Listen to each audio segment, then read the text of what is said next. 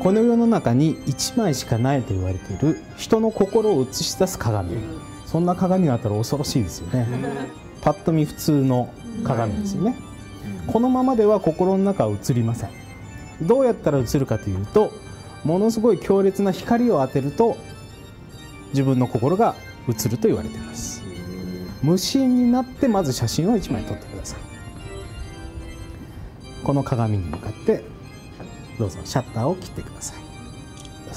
鏡の中に何が映ってますか？普通に僕らがあ皆さん映ってますか？これもう現実にあるものだけが今映ってます。あこれ皆さん無心になれた証拠なんです。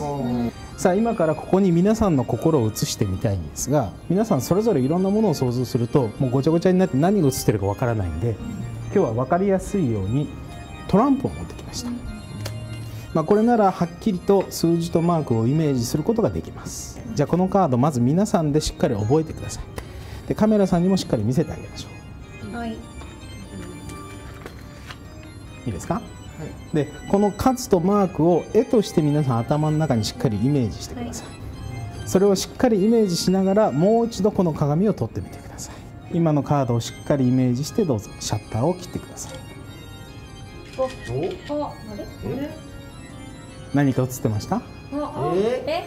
え？さっきと違うものが映ってません？ちょっと拡大してみてくだえ、さい。すごいです。あすごいはっきり映ってますね。他のものと混ざり合いながらしっかり映ってます